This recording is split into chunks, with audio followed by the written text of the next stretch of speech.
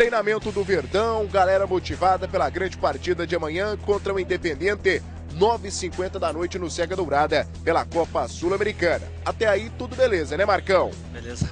Técnico Arthur Neto preparando o periquito para voar alto contra os argentinos.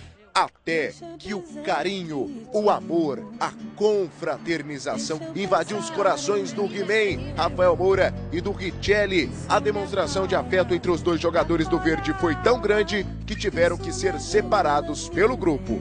Foi isso, né, Marcão? Beleza. Mas essas cenas de amor no treino não devem atrapalhar o Goiás no jogo de amanhã.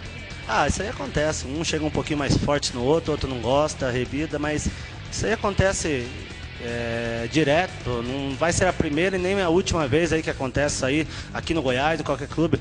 Depois os dois vão conversar ali, se entendem. Não, não, não dá nem para levar a sério isso aí.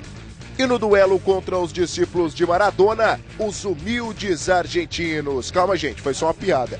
Mais uma vez a torcida vai ser importantíssima. Fiquei alegre, né? Coração alegre ali na chegada que a gente veio de São Paulo. Os torcedores nos apoiando ali. E quarta-feira, lote sim. É gostoso, é maravilhoso, a torcida empurrando aí. Espero que a gente possa fazer uma bela apresentação dentro da nossa casa. Um ano aqui praticamente e agora vou ver o Serra Dourado lotado.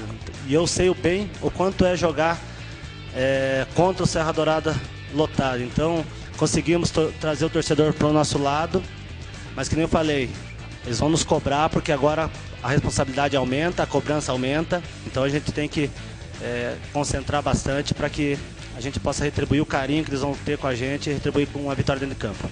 Agora só nos resta pedir que a calma esteja presente no reino da Serrinha.